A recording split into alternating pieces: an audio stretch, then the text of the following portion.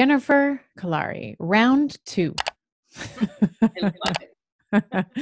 Last time you were on, uh, episode 23, our conversation, Jen, you and I had talked for like two plus hours. And we we were just starting to bridge the topic of parenting in in for our teenagers and we both looked up at the clock and we're like holy you know you had a client and we had been going for two hours so we decided that we would park it for another conversation which is today and i'm so happy to have you back on the podcast. Welcome back. Thank you thank you. I'm excited about this. I'm happy to be back. So we all at least my opinion is that the real parenting starts in in our teenage years and picking up where we left off last time uh, one of the one of the themes one of the through lines that we were talking about was this idea that we are as humans irrespective of age right? You're a, you're a newborn baby you're a toddler you're a teenager, you're a 42 year old woman like I am, and we are hardwired for connection, right? We want love, we want to be held, we want to be told that we matter, we want to be seen, heard, understood.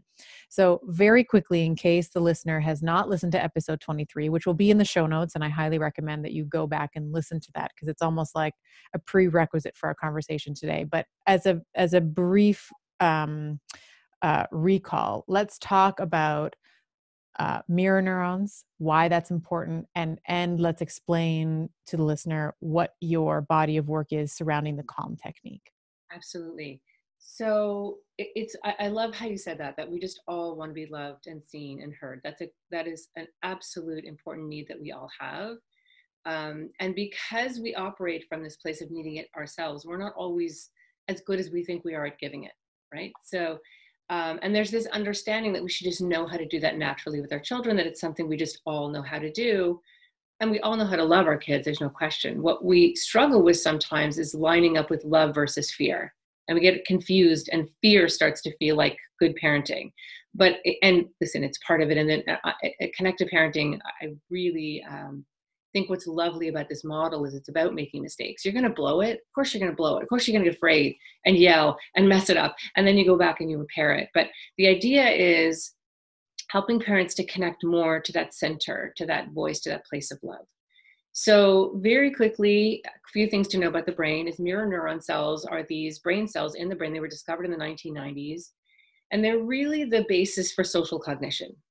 So uh, mirror neuron cells light up when we see someone smile, when we see someone cry, when we see someone reach for a drink of water, suddenly we're thirsty. Um, it's what allows us to step into someone else's experience and have um, what's called theory of mind, this understanding, well, that's what that person must be feeling.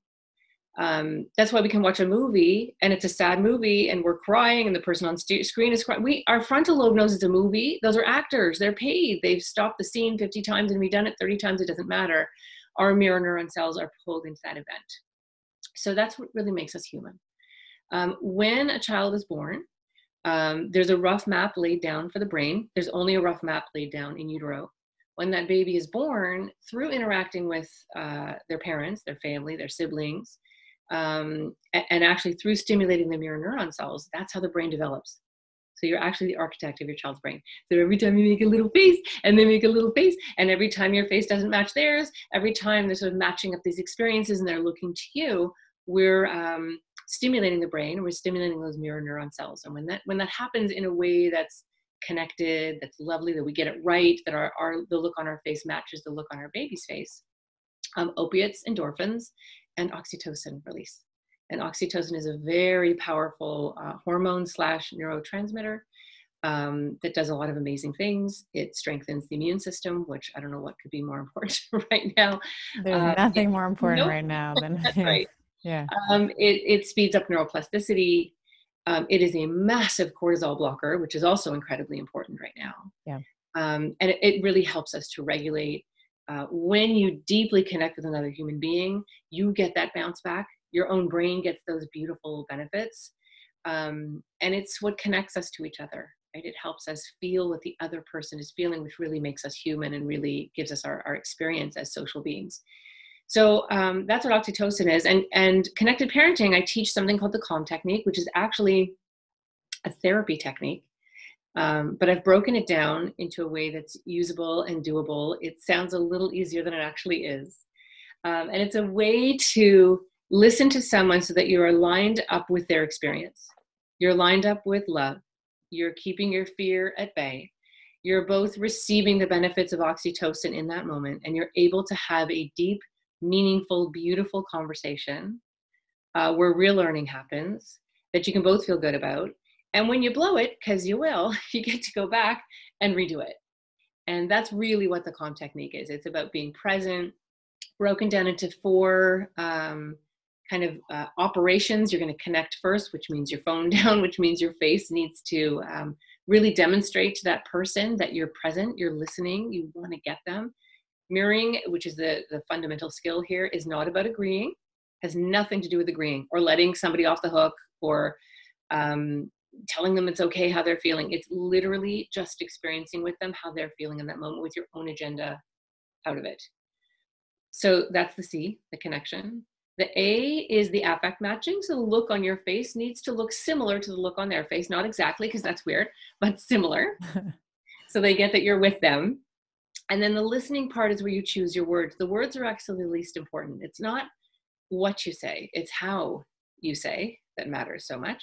So you can paraphrase, you can summarize, you can clarify, and you can wonder out loud. And you do that all with the affect and all with the connection. And when you've pulled that all together, you've had a mirroring moment, which is the M. And it's something that you just try to do as much as you can with everybody. I want people to hear this isn't just for your teenagers or your kids, this works on everyone. And it's a beautiful way to operate in the world, and it keeps you lined up with love. I love that. And for I mean, we did a really deep dive on on the calm technique in episode 23. So highly recommend people go back and listen to that because it will provide a lot of color and a lot of richness for what we're going to talk about. And one of the things that the calm like the calm technique and bathing our children, we think about this idea of bathing our children in these reward chemicals. We also bathe ourselves in those reward chemicals, right? We also bathe ourselves in the oxytocin and the bonding. And that helps to propagate. So when you are when your child is frustrating you if it's a teenager uh, as we're going to talk about in this case it helps you keep the highest version of that child in your mind's eye when you're and you don't go so we talked about this idea of love and fear. You don't go to this place like oh my god my child is a terror. How did they how did they come from my body? You know when you're when you're bathing yourself in those bonding chemicals you are still able to maintain or to to reciprocate that bonding and hold that child in the highest version of them so that you can actually connect um, with them. And the calm technique is kind of like the teenage like i like to you know you've described this and i like this this teenage whispering right? Like it's a way to not only apply this with a with a younger child but the natural thing for a teenager to do, and this is where I want to kind of get into the specifics around the teenage years, is this is the time where naturally, normally, a child will begin to separate from us. They will begin to want to individuate uh, and become their own person. And of course, now their behavior can be a source of triggering, it can trigger you, it can be a source of ongoing frustration. So, can we talk a little bit around the the the unique let, first let's paint a picture for and for all the parents that are listening that either have a teenager right now uh, who may or may not be driving them crazy, um, yeah. or a child uh, who will eventually be a teenager. What are some? Let's let's uh, let's help our parents understand what are some of the fundamental differences in the experience of being a teenager today versus like I remember my teenage years, but like I was saying to you in the pre-chat, I didn't grow up with Snapchat, I didn't grow up with TikTok, I didn't grow up with all these things. And thank God because the the how I fell on my face and the amount of times I fell on my face, like if that was broadcast to everybody, like I don't know how I would have dealt with that. So I, I feel like there's this enormous pressure an anxiety provoking kind of environment that our that our teenagers are can, can you just walk us through how it's different i mean you work with absolutely. so many teenagers you have a really good handle on this yeah absolutely and, and there's so many layers to this there really are so so let me start with the first layer which is the brain then we'll yeah. peel away what we just talked about how different it is because you have to understand the brain in order to stand, understand how uh, what the teenager is facing right now in this really first of all this unprecedented time that we're in and also just with social media and all everything is bombarding the teenage brain. So the first thing you have to know is that it takes 25 years to grow a frontal lobe. Okay, and that's the part of the brain that really operates it's very high functioning it's it's uh, you know the organizer of the brain it's the part of the brain that takes perspective it inhibits it motivates it prioritizes you know it's the part of your brain that goes oh, i'd really like to say this to that person but that's going to have a problem you know it's going to hurt their feelings or it'll be a problem for me down the road and i really want to eat that whole thing but you know that's not a good idea or i should turn netflix off and we're constantly parenting ourselves that that's ultimately what the brain does is we have the parent of our brain which is the frontal lobe and then we have the little kid in our brain, which is the limbic brain that's screaming and yelling and you know concerned with survival and danger. It takes 25 years to grow a frontal lobe. So where your teenager might look like you, or they might be as tall as you, right? And they or taller. or taller. yeah. And they sound very mature in many ways. They do not have a fully formed frontal lobe yet. You can't tell them that you know, one of the things that I enjoy so much about my job, and I just had this conversation last week with a kid that I've worked with for years. And I remember him during his years of grade 10, 10 year, so difficult with his parents, such a nightmare. Like it was really hard. And I remember saying to his parents, the frontal lobe will kick on. It will kick on around 17, and a lot of these things that seem impossible will organ. It will. It will get better. It will, and you. It's sort of like you wouldn't take your nine month old to walking classes so they walk earlier. Like it's just going to happen when it happens. And that doesn't mean you stop parenting, but there's a piece of, of, of yourself that you have to keep as a parent where you just have to trust that the frontal lobe will kick on. It will. And of course, his frontal lobe kicked on and he started studying more and being more responsible and being more reasonable and all of that stuff. All the things I told the parents would happen started to happen. And I just finished talking to him the other day. He's now going off to, he'll be going to university in the fall. And I said to him, Do you remember the conversation that you and I had when you were in grade 10 and 10th grade? And I said to you, We're going to have a conversation if you're still working with me in a couple of years, and you're going to look back and realize that you didn't know everything right now. And there was so much more to learn. No, that's not going to happen. I, I hate when people tell me that. Anyway, so this conversation happened last week. And it was so, and I love this part because I get to do this all the time with kids. He's like, Oh, I can't believe what I put my parents went through. Like, oh, I can't believe I thought I knew everything. Like you told me that I would feel this way and I can't believe it. And it, so it, when it clicks on, it clicks on. And there's a certain amount of trust that you just have to have that, that, that piece of development will happen. it has to happen and you can't rush it and you can't make it happen. You just have to trust. There's this leap that you have to take. And certainly with boys, I call it the caveman phase, and it's sort of 13 to 16. With girls, it's more like 12 to 15. By 16, it starts to click on a little bit. It's a little bit earlier for them. Um, so, and that's all brain development. So, what we have to understand is frontal lobe piece. Then you also have to understand that the teenage brain has um, many more neuroids, many more brain cells. There's there's a lot more pruning and clipping, and it's almost like it overgrows and then the brain kind of prunes and clips and organizes okay need this not using this so much um, and and so there's a lot of uh, the brain handles things very very differently as a teenager so it reacts much more to serotonin. They get bored very easily. Um, they they they they don't predict danger the same way. They actually don't experience danger the same way and we can probably remember that ourselves. There's this feeling of invincibility. Oh that's not going to happen to me. Oh adults are so stupid. That's and you can literally show them evidence show them physical evidence that something could happen and that that teenage brain is built to downgrade danger. It really is so those two things make it really complicated it's also uh, highly wired for addiction the teenage brain because it needs um, to be that excitement it needs to be thrilled and and maybe that's I don't know, maybe on a huge scale developmentally, we needed our teenagers to be the warriors and the risk takers and the people pulling us out of whatever rut we were in. Um, and then developmentally, the brain needs to kind of adapt to the environment that it's in. So that used to be mitigated by a few different things culturally. So if you go back maybe 100 years ago, there was a, and, and many cultures still in the world today, there's a different hierarchical setup. which mitigates that what we just talked about so i guess the best way to think about it okay so let's think of it this way teenagers are okay adolescence is not actually a thing it, it, it's a it's an it's a western phenomenon. It's not like a developmental stage.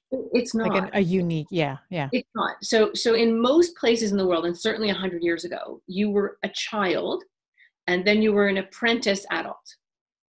And so you desired to be accepted by the adult community. You wanted to prove that you were a man. You wanted to prove that you were a woman.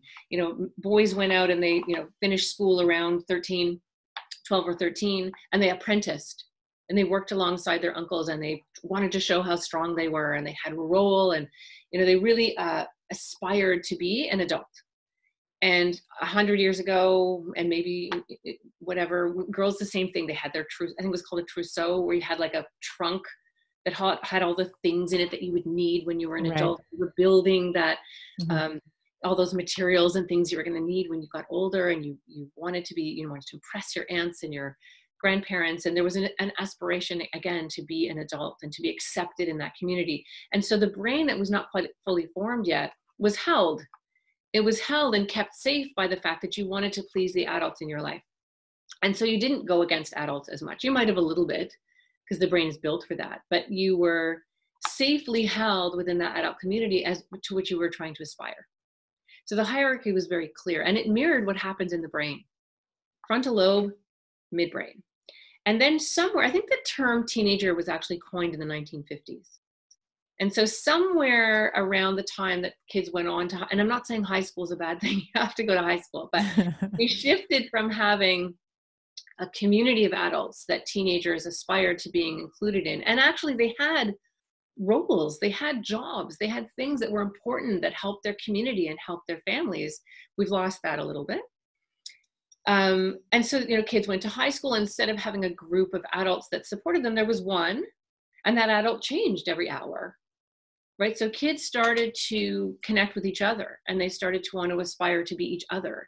And there was this sense that adults didn't know anything and that we needed to rebel against them. And the more adults tried to control them, the more it fit the narrative that they're mean and they don't know anything and they're trying to control them. And this rift started to happen. And we were sort of sold this bill of goods that that's normal it's normal for your teenager to slam the door and not want to talk to you. It's normal for your teenager to be embarrassed by you. And to a degree it is. Um, but but because that hierarchy has shifted, and that started long ago, that was part of our conversation last time, right? That we've really shifted how we've parented and that children in general have way too much power. So by the time they're teenagers, it's way too much power. Um, and then you, on top of it, we have this idea that teenagers don't want us. Um, it's it's contributed to what is an even bigger problem right now with our teenagers. So that um, the teenager going upstairs slamming the door shutting the you know leave me alone! You know, kind of thing which does happen and it is fairly normal is attachment behavior. So they want you to follow them upstairs and then when you get out! Leave me alone! You know, and then when you leave they're actually upset. She left I'm going through something. My mother needs to come back. So there's this push pull, push pull, go away, come back. I need you, get out kind of uh, craziness that happens with those teenage years um, that you know, seems insane, but it is kind of the pattern. It's accentuated now because we don't have teenagers really aspiring to be adults. In fact, we're in such a youth obsessed culture. Uh, we don't even value our elders. We're, we, you know, we treat the older people in our in our culture right now horribly we've lost this important idea of the wealth of information that our elders can share um, and we've lost our own sense that we can you know are of value to our teenagers and we can really teach them things. Um, they think they know everything. So it's a bit of a mess. So there's that layer which we can unpack and now we add well wait. And then we add how they've been parented which you and I talked about this the last time that we've really there's been such a shift in parenting that we're afraid to say no you know there's really been struggles that all of us have had around limit setting. You know kids have a lot of stuff. They've been given a lot of you know have a lot of privileges. They push back tremendously against adults. Um, you know there's a lot of confusion in the in the parenting world around do you set limits? Do you consequence? Is that mean? Versus you know understanding where you're coming from and understanding the child and showing compassion and understanding and knowing your own trauma and your own issues and it's one of the things i'm most proud of at connected parenting is we really bring both of those uh, huge elements together that of course you have to be understanding and compassionate and know your triggers and know your limits but you have to be a good frontal lobe. You're not mean you're a frontal lobe and their job is to push back. No you're mean. I hate you. And you have to love them enough to be that solid predictable frontal lobe no matter what they're throwing at you so now we sort of highlighted how complex this is now you add social media right now you add snapchat and instagram and all of these likes and these obsessions and the, the frantic need to be seen and to be validated through social media um, has caused a lot of problems. So when you know, I'm older than you, but certainly when I was a kid, if I had a fight with my best friend, I would stomp to the bus stop, not sit there thinking about that fight while I was waiting for the bus. Then I'd get on the bus and I'd think about it while I was on the bus. And then I'd think about it while I walked up to my house. And then I'd have to think about it for an hour while my sister was on the phone because we had one phone. By the time I got the phone, I was over it. I'd forgotten about it. And my own frontal lobe that was growing and developing started to kick in. And maybe I shouldn't have said that. Maybe that wasn't the best choice. You know, maybe I would do that in the same situation. We were able to access the part of our brain that was growing and developing that allowed us to have that distance. Um, and we might talk to our parents or we might talk to our sister, but there was time. And now teenagers are having these fights and these conversations in real time.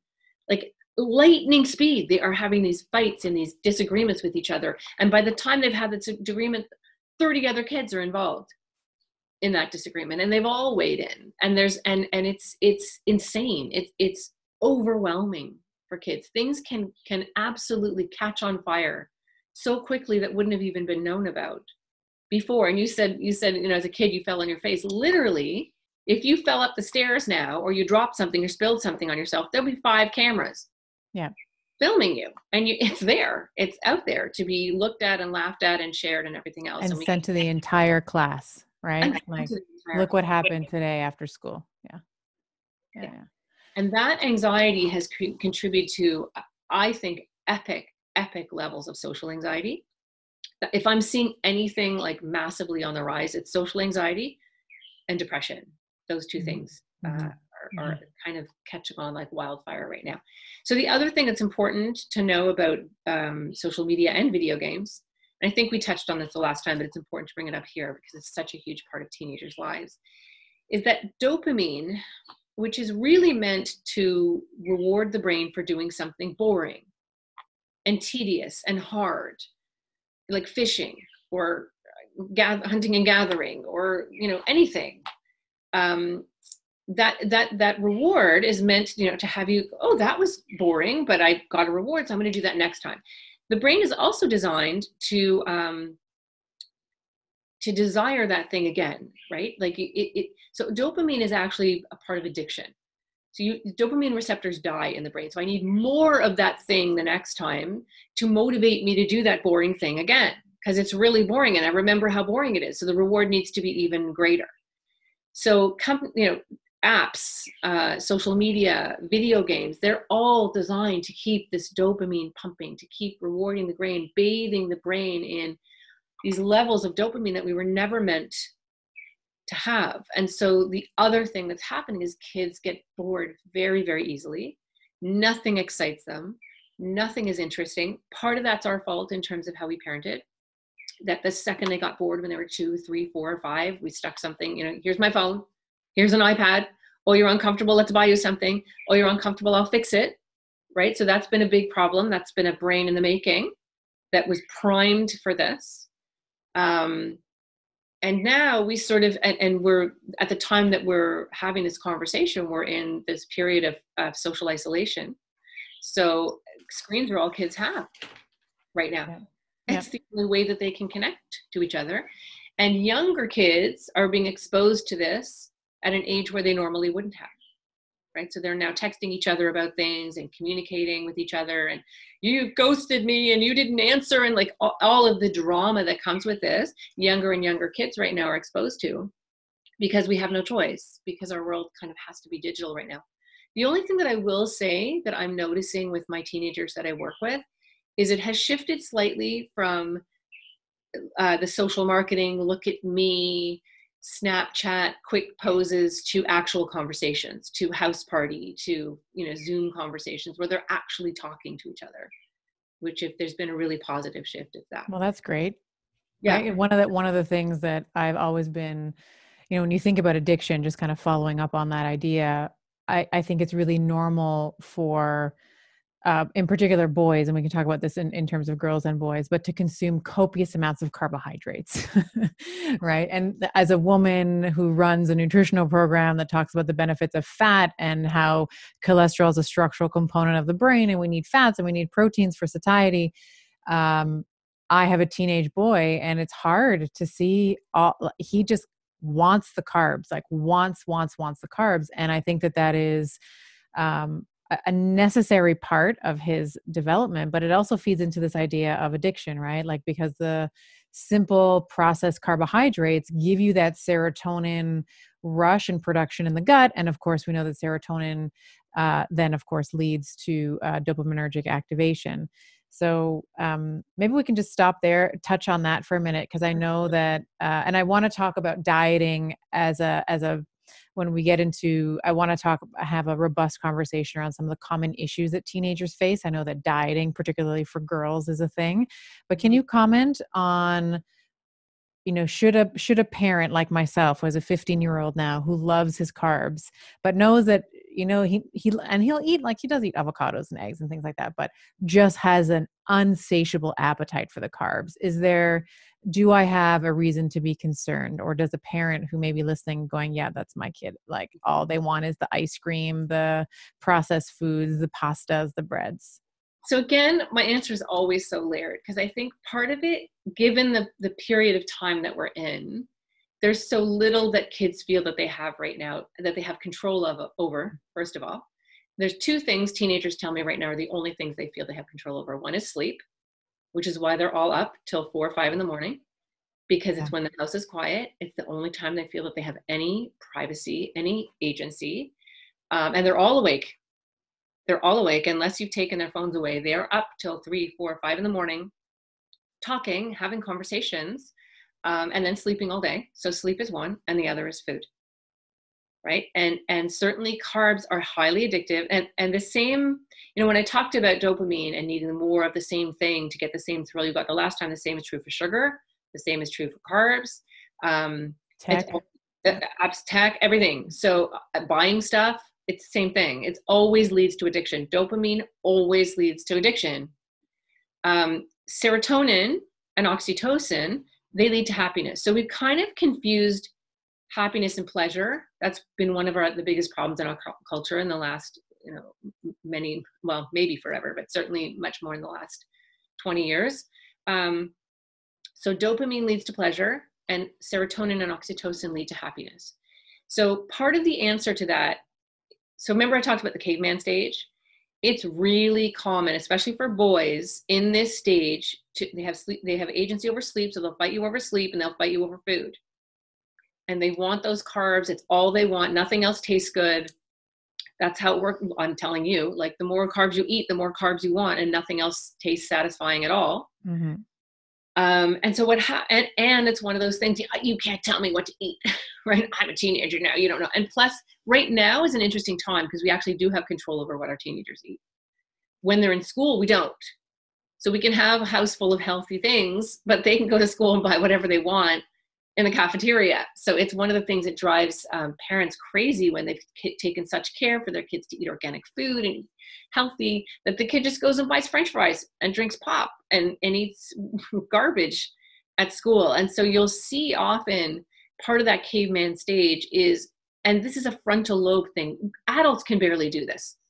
So imagine when you don't have a fully formed frontal lobe. Yeah. So what often happens is they're terrible, terrible eaters. And it kills us as parents right? And then around 19, 20, 21, now they have this interest in going to the gym and eating properly. And your 20, 23 year old will be sitting at the table telling you why you shouldn't be eating this and why all this thing you taught them to do, they're now doing. Yeah. So I'm not saying back off and let them eat whatever they want. I'm saying keep a piece of your soul that knows that some of this is developmental. And that if you make it a fight and you make food this thing that you battle over, you're going to create a whole other problem that you're trying to solve by getting your child to eat healthy, right? You don't want to associate food and fighting, either pleasing your parents by what you eat or destroying your parents by what you eat. That's a very dangerous pattern. So at this point, you, we're in an unusual time where you can just not have the stuff in the house. What are they going to do? They can't leave. Mm-hmm. like, so, where are you going to go with your mask and no money? Yeah. right. Yeah. So that, I mean, when are you going to ever have this time again where it's just not in the house? Mm-hmm. Like it's just not there.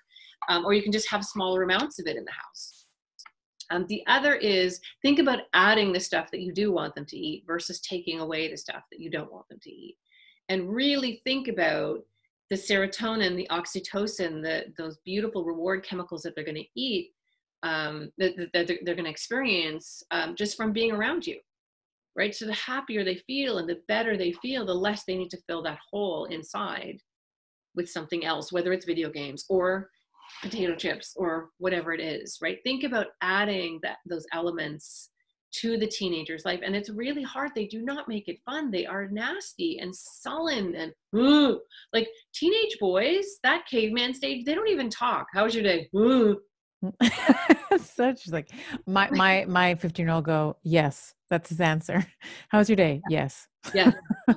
you know, or it's like, oh, okay right i yeah. mean that's it that's what you're going to get and so yeah. you have to find ways to connect anyway and you have to see through that um, veneer that in there is a little person that is and here's the other thing Steph that's so important they are worried about things that we never even had to think about mm. and i mm. know they're thinking about this stuff because they talk to me right they're, they're literally is there going to be a world that i'm going to recognize is global warming going to wipe us out am i going to be dead by 30 am I even going to have kids? Like these are things I'm telling you that when they can't sleep at night, this is what they're thinking about. Yeah. And I think, you know, again, why it's so important to go back and listen. I think this is especially true of our gladiator kids. Like I have a nine and a seven year old that are like, is coronavirus going to wipe us all out? Like, am I never going to, am I like, when, how, when are we going to die? You know, these questions that you're like, Jesus, how, like, how is this seven year old thinking of these things, you know? Um, and for, I mean, for the most part, the adults can't even figure that out. Like, we don't even know what's going on, right? So, um, I, I love what you're saying around this idea that the frontal lobe is not developed until 25 um, when we look at the body, especially the central nervous system, of which the brain, of course, is a part of, the skeleton also matures at 25. So the skeleton and the nervous system kind of go hand in hand. Mm-hmm. And it makes a lot of sense what you're saying because we also in our teenage years there is a neurological kind of spurt right? Like we have this hormonal uh, explosion. We have the pressures that we've been talking about like the social media and the anxiety. And you know it's it's really no wonder that and they're just little people right? And their frontal lobe sometimes on sometimes it's off right? It's it's no wonder that sometimes we have these like emotional like grand mal seizures, right? Like these emotional meltdowns um, on on things that we might think are like not important, but are incredibly and exquisitely painful um, for these kids. So I wanted to move into something that you call the emotional or emotion as your GPS. Like, how yeah. can we help our kids? Because even though right now we have a lot of control so you know lockdown kids are at home we can control their environment it can become this like really great laboratory like random you know controlled trial we can have this really great thing but at some point the kids we are they're going to go back to school you know uh, gatherings are going to happen again how can we help our kids make better choices and help them set boundaries in terms of what they are and what they are not comfortable with. What can you yes deconstruct that a little bit for us? I can and and what's so important about the teenage years and that what we've kind of been sold this idea that teenagers don't want us around when i'm telling you when i talk to teenagers they will they'll talk about social media and they'll talk about stressors and they'll talk about bullying and they'll talk about all the things that we kind of think they're talking about but this this much what they're really talking about is the parent. my mother's mad at me. They love my siblings more. They don't care about me. They you know they everything that my brother does is great and what i do is crap. Like that is what they're talking about. They're still talking about us right? And, and we wouldn't know that when they slam the door and go leave me alone right? Mm-hmm. so eh, the hardest part is that you have to parent through that that feeling that your kids just don't want you around and part of that is the social media stuff. They're so addicted to their devices that we're like in the way of them, first of all. The others that they're so desperate to connect with their peers, but also developmentally, they're in this stage where we're kind of embarrassing. oh, don't, don't, you, know, you go to the mall and they're like, pretend you don't know me. Like you're so embarrassing, right? And we we get so hurt by that, and that feels so devastating. And it does. You've given everything to this little one who would sit on your lap and tell you everything, and oh, mommy, you're so beautiful. And like that, it turns into you're embarrassing. Leave me alone it's very hard and there's no way to prepare a parent for that switch and a lot of parents will say oh i can't even imagine that happening i can't imagine my te- my child switching that way but they do and there's a loss there's a grieving sometimes that the parent goes through when your child pulls away and separates from you that way. And so what we do is we get angry right? And we knock on the door and they're like get out! I can't believe you talked to me like that. After all i've done for you. And we end up in these like conflicting things right?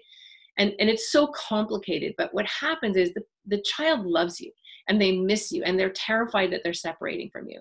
And so they it's easier to separate you from you by hating you right? It just is yeah if they and, construct this like my mother is evil it's much right. easier to separate from the evil mother rather than no i'm growing up now and it's time for me to exactly exactly right and then it gets complicated by all the other layers that we talked about but um, and then we get hurt and we get angry and we keep feeding that role. Remember too that the frontal lobe isn't fully formed yet. Mm. So they're getting a, they're literally getting an adrenaline hit by they, they're dealing with a lot of stuff. They are carrying around a lot of heavy, difficult things right now that they don't know what to do with. So what they do is they get into a fight with us. And then we get into this whole thing, and then they get a blast of adrenaline, which actually lights up the frontal lobe, just like Concerta and Vyvanse and and and uh, ADHD medications so they are regulating off of us, right? Which is which is a, a necessary to a certain degree, but also a very dangerous pattern and cycle to get into. Right. And the parent is in the corner rocking, you know, in the yeah. position, and then the kid's like kind of over it, right? It's yeah. also a time where it can trigger our most devastating traumas, yeah. right? Our our most hurtful times, our own stuff that we carry around gets really heavily triggered by our teenager who we've given everything to who is now treating us like garbage. It, you have to hold on to such a sense of yourself when you are parenting a teenager. It's really difficult. And, and kids that you would never think would turn out this way, that wouldn't have these years, do. Not always, but often, or at least a degree of it right? And the kids know your triggers too right? It's oh, like it's not like it's not like they just randomly push buttons. Like they know where the buttons push and they know where where it hurts the most. Yes, yes. and they simultaneously hate themselves for pushing those, those buttons yeah. but yeah. can't stop right? And they need to hate you so they we walk into the trap every single time right so i think i would have said this the last time that yelling uh, there is no circumstance in which yelling is helpful maybe if your little one is about to cross the street and you're look out like mm-hmm. hey but otherwise not really right mm-hmm. so mm-hmm. we can't think of a time in our lives where someone has screamed at us yelled at us bawled us out reprimanded them us and we've gone oh thank you that was fantastic. exactly what I needed. Thank you. Like it's never going to happen. You're going to get defensive. Your own limbic system that is responsible for survival is going to kick in and you're going to have a limbic response. You're going to have a reaction to that moment instead of a response to that moment. So it, humans are so messy. Like we're just beginning to unpack like the crazy layers here, right? So to simplify this, the best thing that we can do is line up with love. And that is incredibly difficult to do, but it is the best thing to do for your child and it is the best thing to do for you. And for that, you need your own frontal lobe, right? Accessing how you would have felt as a 13 year old, understanding that this is brain development, understanding that they're regulating off of you. When you do yell, and you will, going back and saying, you know what? I lost it yesterday, but I was thinking about what your life looks like right now and how you're missing your friends and all of that. Go go back in there and have that conversation with them it's it's that dopamine it's it's the serotonin and the oxytocin that you need right now you need to build that to help to give them resilience against everything else that's happening in the world right now So I have a brain that goes in 5,000 directions, and I've already forgotten the question you asked me. Where were we going with this? How do we how do we help our children make better choices? Better so choices. I wanted to talk about the GP, like just kind of that internal attunement. Like how can we, you know, the kids are right now, like I said, they're not they're not socializing. There's no prom. There's no this, but there will be parties. There will be you know drugs, alcohol, sex stuff. You know, and if a child is feeling ambiguous about something, I mean, part of parenting is about surrendering and letting go. But how do we how do we arm our children with making better choices and attuning into what feels right for them. Love that. Okay, so all of that that I just said does lead into it. So I didn't Yes. lose track completely. so the thing is, you have to be that compass facing north for them. Until they have a frontal lobe that's fully formed on their own, they need yours. You are the substitute frontal lobe. You're not mean, you're a frontal lobe. But that ability to be your child's frontal lobe will only work if there's connection, right? If it's based in love, if it's based in closeness, then that compass facing north is going to be what they line up with. So when they go to a party and they get out of the car and you you better do this. And you know what? If I find out that if that's what you've left them with when they go in the car uh, when they leave the, the car and go into that party the second somebody says do you want something? what do you think that child, that kid is going to say? Yes, please. yes please. Yeah. right? If you drive them there in love trusting in them showing that you have faith in them reminding them of how loved they are how important they are and that you trust that there's difficult things out there and they're going to have difficult decisions to make but you trust in the core of who they are they're going to get out of that car and somebody's going to hand them something and they're going to go no thanks or fine i'll just have a little. Right? You're going to be present at that party. Okay? You can't be in the window going like this. That's creepy but you're going to be right here right in this place of love and belief and understanding that's how they're going to feel valued enough and loved enough to make good choices. And that is true with if you're if you have a daughter the boys that they choose uh, if you have a son that how they treat women and girls uh, how how if they try something they've been offered um, these are these this is all you have. This is why if you don't have a teenager it's so important that you get good at this stuff because you're going to need it in the teenagers right so that's the compass facing north And it's also important to understand like with the calm technique, the oppositional behavior can't really happen if there's no opposition. If you're not if you are doing the you better not try if I find out you blah blah uh, you know that is going to I mean, you tell me, I'm an adult. If you say you can't do something, I'm like, you know what? I'm going to find a way to do it as an adult with a fully, maybe, and maybe we can argue that my frontal lobe is not fully formed, but like that would be my reaction. Like, so you're going to tell someone who is underdeveloped still in terms of their neurological maturity, you better not, you better, they're going to, you know, and it's, you say this in your book and we'll put the, we'll put the book uh, link in the show notes, but the book is called You're Ruining My Life, Surviving the Teenage Years with Connected Parenting. Um, you talk about this idea of being the parent that they would not want to disappoint yes Yeah. which I think is so lovely because it's not like you better do this, you better line up. It's not based in fear. And I can't remember who, it might have been Oprah. Someone was like, there's two kind of different emotions. You operate out of fear, and Yeah, then that's, you know, much all the anger and all love and fear that's it love and Everything fear. else is fear right Uh, gossip yelling screaming so when you are panicked and driving your kid to that party and doing this the whole way there Mm. that's based in fear. They're also going to be picking up on your fear. The limbic system which has no idea of how to process anything other than fear is now in fight or flight mode right? And the kid gets out of the car in an escalated elevated state. When you drive there in that sort of um, in that in that state aligned with love right um, that's the feeling the child is going to have when they step out of the car right? And that that's the most important thing. We do this all the time. We, we parent from this place of fear. Don't you know that i love you? No. That doesn't sound like love. Yeah. that sounds like anger right? That sounds like fear to me. So whenever we're operating from that place it is never going to work the way we hope it's going to work or the way that we think that it's going to work.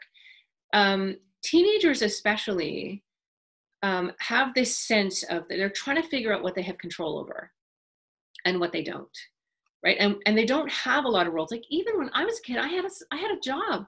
Like you'd be shocked at how many teenagers don't have their license and don't have a job. Yeah. And there's a million reasons why but part of it is we've kind of kept uh, teenagers.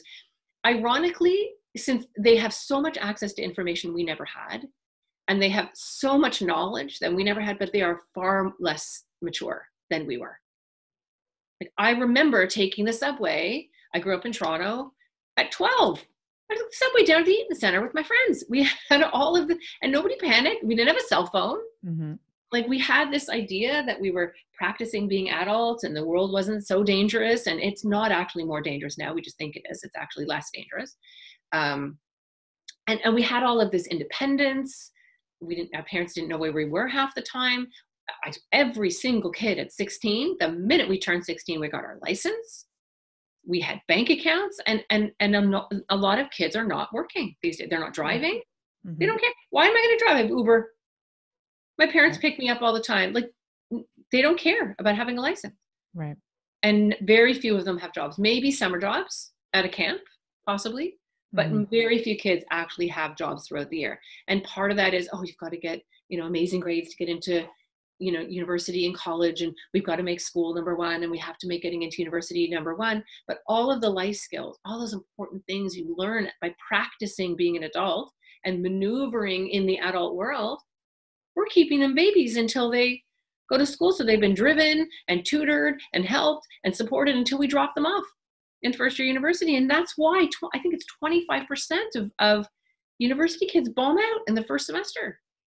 And I'd argue that I, I had a job the second I turned 16. I had mm-hmm. back i don't know what it's like now but there was like a g1 and then a g and then i had to go for my g2 and then my g whatever it was for my license and i had timed it so the minute i turned 16 i could have the you know the g or whatever it was where i didn't need to um, have a parent in the car with me. But i would argue that you will do better at school if you learn time management skills right? But some of the things that you were saying like the life skills that it affords you like how how hard it is to actually make money, the value of savings, and how to budget your time appropriately. Like understanding, okay, I have this exam coming up, it's in two weeks. How much, where in my schedule do I need to work? Where do I need to be able to plan out so I have some quiet time so I can study and then balance all the other, you know, responsibilities in whether it's academic or otherwise, uh, you know, in your family or what have you.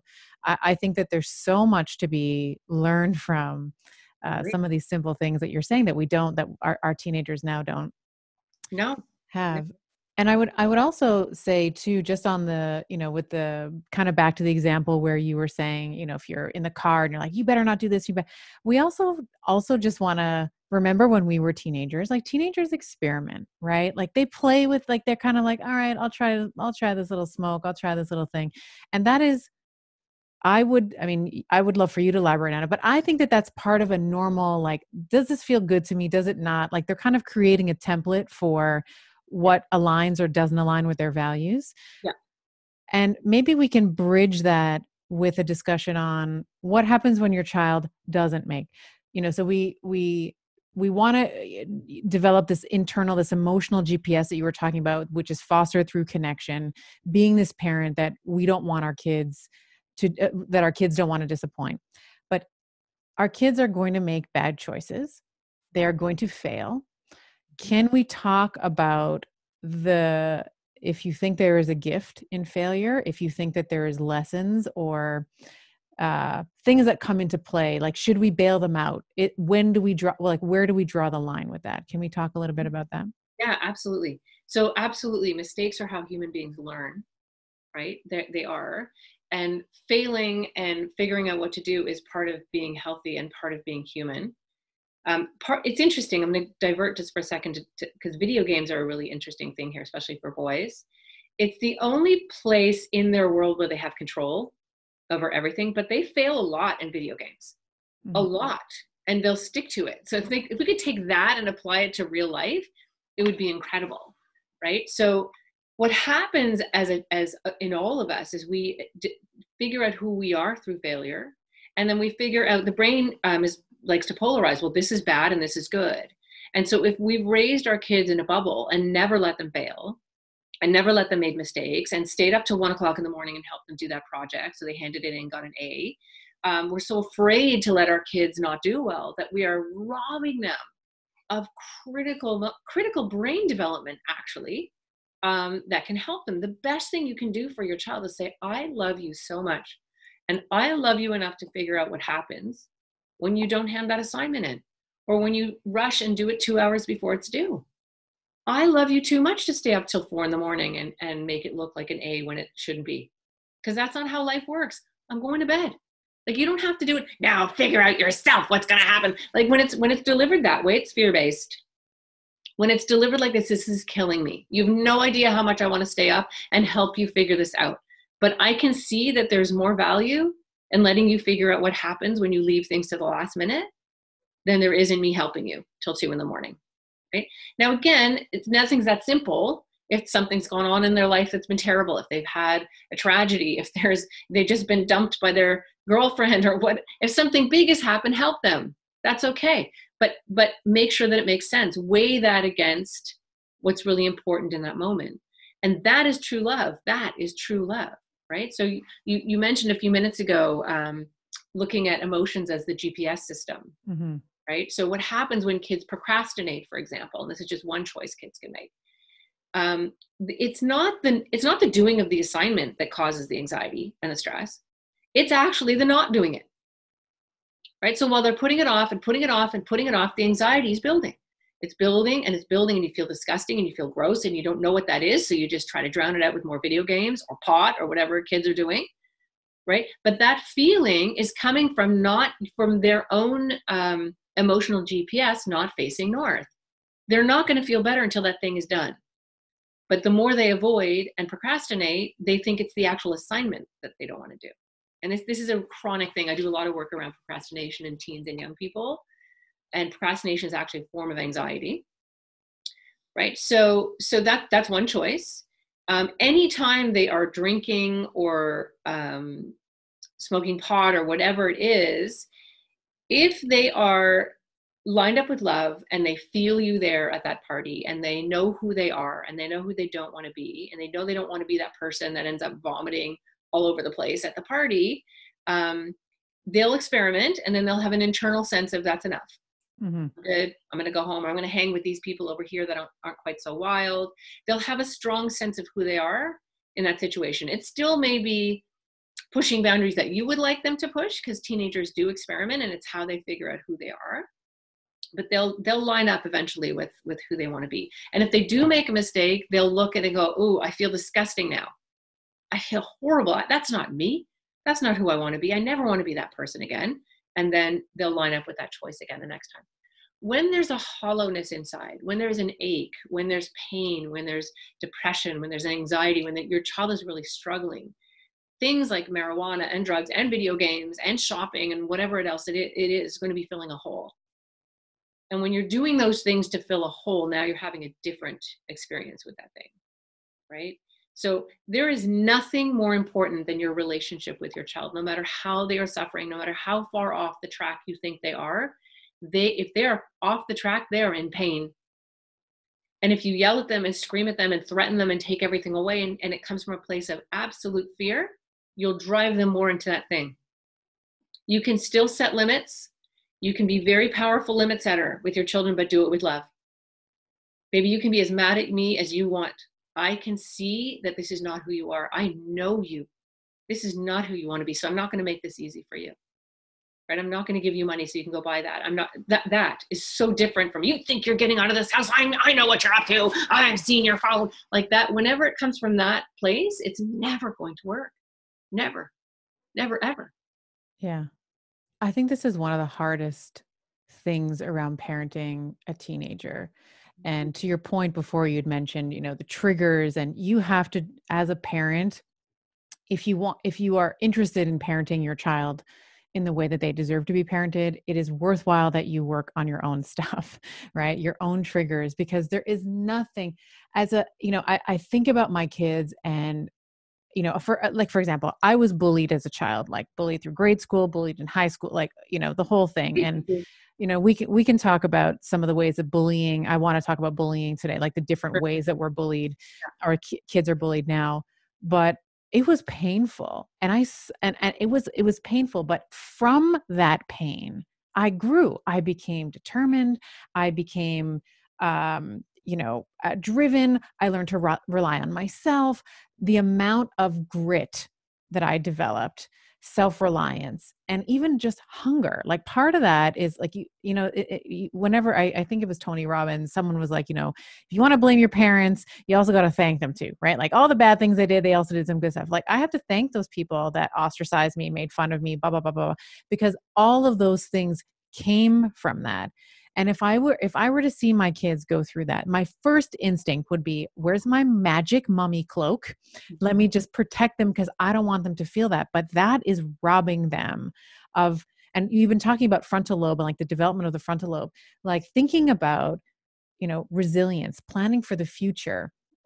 Uh, being driven those are all neurologically associated with your frontal lobe and if we mm-hmm. want our kids to make better decisions we have to allow them to feel pain. Now, the suffering, you know, you don't, you know, it's like the quote, like pain is, uh, what is it, something like pain is in, is imminent and suffering is optional, or suffering is optional. Mm-hmm. Everyone's going to feel pain, and the more that you try to um, cloak them, like throw that magic invisible Harry Potter cloak, you know, the invisibility cloak or whatever around them, the, the less likely they're going to be resilient and, and being able to figure out stuff later the more yeah. pain they will feel later and the deeper that pain will be from smaller things. Yeah. Right? Yeah. so so truly and and i don't want anyone to go through bullying. It's horrible and it's a trauma that stays with you it, well into adulthood. It really does. Yeah. Um however and this is true in anyone's success if you stay in the place of a victim then you will suffer. You will. If you can turn yourself into a student what did i learn How's this going to make me better? How am I mm-hmm. going to protect other people from this? How can I be a force in the world that changes this for other people? If you see yourself in a power position, that's going to change everything. So that's a really important thing um, for parents to know when, when your child is going through something terrible without invalidating the pain, which remind me, and I'll come back to that. Mm-hmm. Um, but contours and contrast is essential. It's part of being human. It's part of figuring out who we are you know, coming back to video games again, if some kid played a video game that they always won, how long would they play that video game for? Like, that's not fun. You're not going to mm-hmm. play a game with someone that you beat over and over and over again. That's not fun. The fun comes from making mistakes and failing and and setting a goal for yourself and achieving that goal. And and if we whitewash our children's lives, we're robbing them. We're actually neurologically causing damage. We are causing them. The brain grows in accordance to the environment that it finds itself in. So if a brain is only in la la land and every problem is fixed and somebody swoops in with their magic cloak and fixes everything, then the brain is not going to develop any neurological hardware that it needs to handle trauma or trouble. It's not even going to be there. Mm-hmm. So I think I might have used this example last time, but if you think about it, if you have a child that you've called every time something went wrong and you called every parent if you thought their child was mean to them and you called the teacher every time their friends were in a different class and all of those experiences. And you give your child an ice cream cone and they're nine years old and they're eating the ice cream and it falls on the floor and they're hysterical. Why are they crying? Because that is the worst thing that's ever happened to them in their entire life. It is. We never let them feel anything else. So they're having a totally normal reaction to the worst thing that's ever happened to them. And then we stand there going what's the matter with you? It's an ice cream get over it. So now they're all confused, right? So, and I'm not saying it's Lord of the Flies, kick your kids out and you know let them figure it out. But there is such value in making mistakes, and there is value in some pain, right? There just is. Mm-hmm. So, you know, a really good example is the, you know, your child at the beginning of the year being in a different class. Every year, A parents phone and say, my child's in a different class and blah, blah, blah. And I've seen this for 30 years. I've had three kids of my own three days later, I'm telling you, they don't care. And the important thing is they've experienced something that appeared to be devastating. How will I ever recover from this? All of my best friends are in the other class. And now they have three new best friends and those friends. And half the time they don't even play with the old friends. But the truth is, what did they learn? Something can seem impossible, something can seem insurmountable. And I can get through it and I can be happy after it. So it's so important not to take that cloak out. There will be times when things are really rough and you do need to come in and advocate for your child. And you'll know those times. You'll know them. Like if you quiet yourself down and use your own intuition, you'll know. Right? But this is, is so this is very important. Knowing your own stuff is hugely important.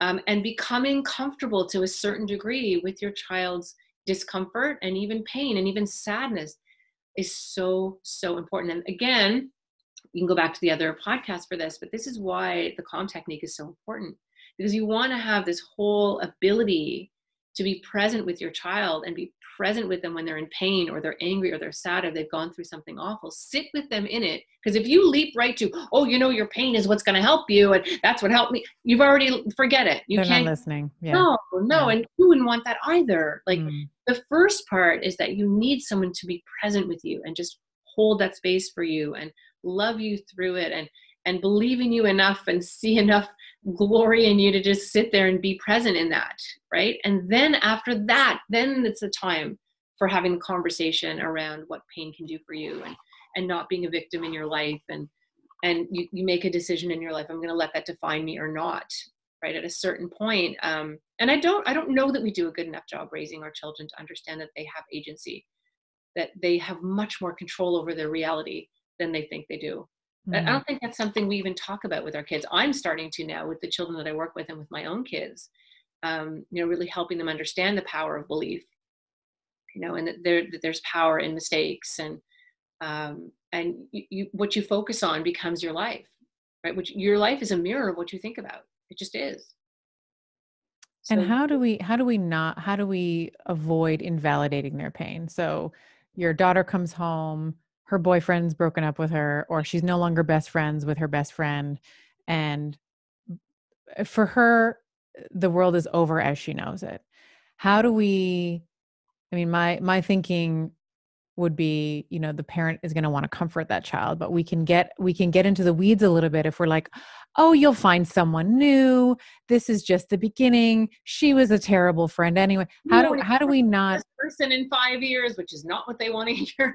Uh, yeah five years is an eternity for a teenager. So i mean they don't even think i mean they don't even think about next week. You can't even you know the concept of time i think is still abstract even to a teenager. So how can we how can we avoid invalidating their pain Yeah. um, when things seem catastrophic? Yeah. and we have to sit with how catastrophic it feels. That's the hardest part. Our child is devastated right now. I need to make them feel better. So often we want our child to feel better so we can feel better. Yeah. Let's just be honest about that because that's Yeah. true and that's okay and we all do that but we just have to know that. I can't stand seeing my child like this i need them to feel better so i can sleep. And and this happens to dad too to dads also but i see it so much in moms and i've been there myself where you can't sleep. Like you can't function when your child is destroyed when they've been dumped or they haven't been invited to something or they've been bullied or they didn't get on the team that you want. Like we can't sleep. It's excruciating. It's actually worse when it's happening to your child than it's when it's happening to us. Hmm so we want them to feel better so we can feel better and again that is based in fear. And it's never going to work and your child is going to know that. It's going to so much of this is um is subconscious and it's just this gentle awareness that we have of each other. But if it's coming from that place your child will know it and it's not going to work. So the calm technique which is such a superpower means suspending your agenda. I can sit with my child in this painful place and I can be present in this moment and I can control my own panic and I can let her or him just vent. And the stuff that they vent is terrifying. It really is. But you have to be present and you have to just sit there and you have to allow them. It's so interesting. I had a conversation with Olivia. So my daughter's 16 and she's a big feeler and she's a super gladiator. And I don't even remember what caused this. She was I ended up staying up till 2:30 in the morning with her the other night and oh she has a new boyfriend that she really is enjoying. And part of a bigger conversation is kids have no attention span anymore. So they, they're even at the age of 16 and 17 they're having these relationships that last 10 days because i'm bored of you already right? Or somebody else came along or they're talking to five different people and the minute somebody shows a flaw they drop them this is also happening for the, a generation of people who are dating right now with tinder and hookups and that's a whole other conversation we'll have in a moment but Mm. it's like there's no attention span so girls and boys are getting bored of each other in days. So she's now terrified anytime she has a conversation with somebody who's kind of nice that they're just going to drop her, which they're all doing to each other. And I, I know this beyond my conversation with my daughter because I'm I talk to tons of teenagers and even young adults who are experiencing this right now. So we're talking about this, and she went off on this whole. I think she'd be okay with this.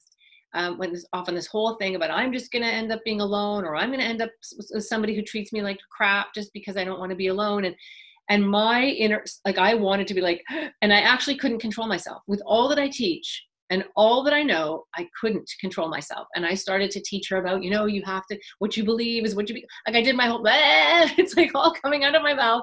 And she's getting more and more aggravated and more and more irritated. She's like, I don't even know why somebody would talk to you because you're a horrible person to talk to when you're upset. And, and I know that I'm being triggered here in this moment. I, I and then we ended up getting mad at each other. And then she stormed out of the house. But I know her, like we have a super close relationship. So I knew she was like outside the front door. And I'm like, oh, I just wanted to go to bed and it's 2.30 in the morning and I don't need this. And anyway, I ended up like, okay, stop, stop, stop, stop. I'm doing everything, everything I am telling my parents that I guide and counsel not to do. So I got a grip on myself. I took a few breaths, put my you know, sweater on, and I went outside because I know what does she want? She wants me to come looking for her. I know she does. So, and get it, go away leave me alone. And like it's this whole thing right? And i'm and i'm just trying to be present in what i know she needs which is she needs me to fiercely be present to listen to follow her. And then we ended up hugging in the driveway. We went back and i literally just shut my mouth and i listened. And for an hour she said all of these things and i just listened. I don't even know that i used the calm technique in that moment. I just for the first little while i just listened. I didn't even say anything. I just let her monologue and then I used the calm technique. And then I listened and I mirrored. And she's like, Mom, that was amazing. That's what I needed. And I'm like, really? Like, I do nothing but teach this and write about this. And how did I fall into that trap myself? But it's so powerful. It's so devastating when you see your child suffering. You can't stop yourself sometimes from just mm-hmm. like, ah, right? We repaired it we fixed it. We and then we snuggled and we actually i slept in her bed that night. We slept together. I didn't mean to fall asleep there but like we're snuggling up and in the morning i just kind of gently left and went and got my coffee and i know that she needed that. And maybe we ha- maybe i had to make all those mistakes in that moment in order for us to get to that vulnerable beautiful place. Right? And then the next day we had a beautiful day together. But you're going to blow it. We're all going to blow it but you get to go back and you get to repair the repair is where a lot of the power is right now going and doing it doing a do-over right? I love that and thank you so much for your honesty because i know that there the the inclination is to okay now i know the calm technique now i'm just going to do it 100% all the time and the person who has it's it's so refreshing to hear someone who has created this technique sometimes fall down and make mistakes. It's like oh oh yeah she is she is human. So that's uh that's good that's good to know. It's nice to know that that uh jennifer is human. So i really appreciate that.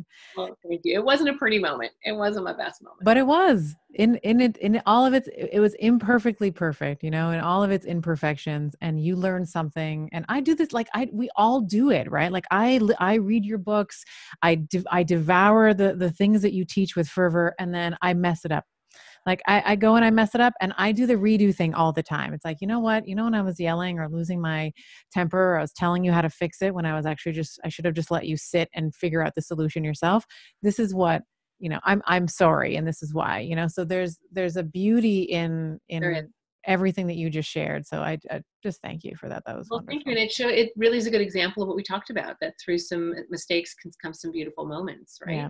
and be really yeah. forgiving and really understanding with yourself and that's just being real and listen if you use the calm technique your whole life and you never yelled at anyone and you used all of the other you know beautiful parenting strategies and never made any mistakes you're going to mess your kid up anyway because they're going to have a boss or a mother-in-law or somebody who's not going to do that and they're not going to mm-hmm. have any hardware no neurological uh, network to deal with it so that's all part of it right and it, it it's part of um, that's why when you line up with love and that i could certainly go back and talk about with the with that my fear got triggered in that moment and every single word that came out of my mouth that was coming from a place of fear made the situation worse. And it wasn't until I regrouped and lined back up with love um, it was in that moment that I was able to make, uh, you know, have an entirely different conversation for the second half of it, right? Mm-hmm. So, um, and getting a grip in the situation that is not always easy to do. Like sometimes you do need that moment where somebody stomps away, or you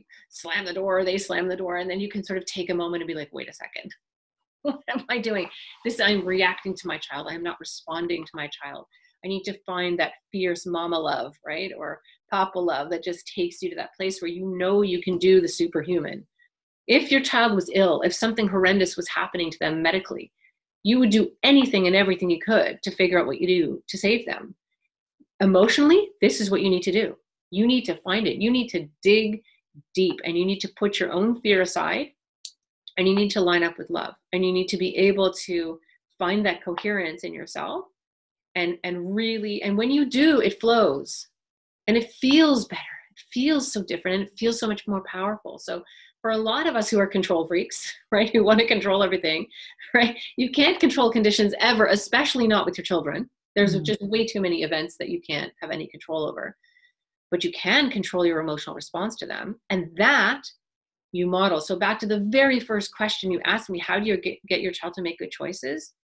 You make the best choices you can yourself. And when you don't you repair them you lead by example right? You show your child what it means to parent from a place of love. You show them that. They will watch you. They will see you. You don't have to sit down and have a conversation about it. They'll know it because you're parenting them that way and that's the bar that they will set for themselves. And can we i guess a sort of a follow-on question to that is can we teach our children our teenagers the calm technique? Can we actively teach them how to connect and how to um, uh, you know how to listen and how to mirror. Are we able is that something that is that you recommend to teach your teenager? Oh, how to you know whether it's for the, for their interactions with you or their interactions with their peers? Mm-hmm. well and it, it literally is a superpower and it will help them in, incredibly in life. But you don't have to teach them. There's no lesson. There's no now c stands for like you wouldn't do that. You live it you I, I, probably would. I'd be like, C stands for this and A stands for this. I'm really happy. as soon as you do that, you've lost them. I would have a slide deck of like, okay, guys, we're gonna learn Jennifer Kolari's work.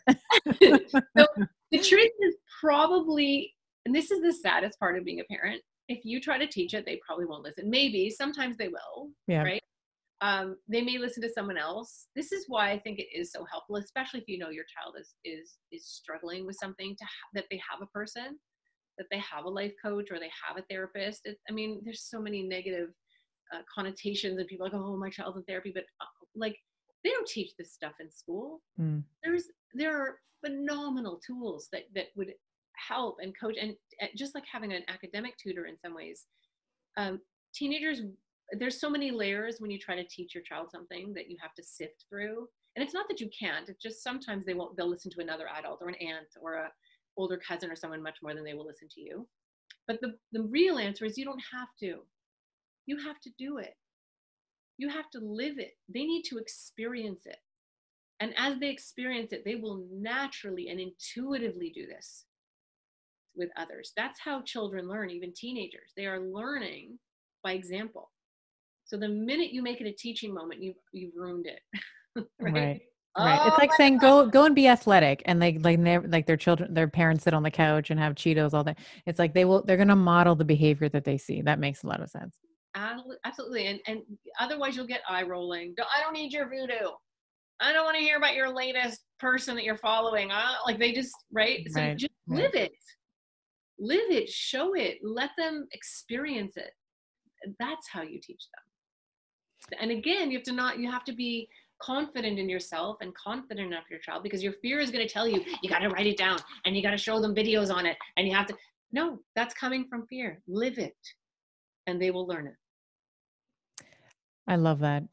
Can i want to talk about a couple of pointed examples around some of the common issues that kids deal with. we've sort of been talking about it uh, through our conversation. We've been talking about you know anxiety and and bullying, but I'd like to really zone in. I told you in the pre-chat I really wanted to talk about sex mm-hmm. um, with teenagers because I think that when we think about sex today, and and maybe this is making me sound, you know, my age i don't know but um i think that the view now around sex especially with teenagers is that it's not a big deal you know oral sex isn't really sex uh there's like hookup parties and all this kind of stuff and i will tell you full you know with full transparency you know my partner and I, Giovanni, like we're we're like we're passionate, like we're all over each other, like we're kissing and hugging, and his hand is you know usually on my butt in front of the kids and stuff.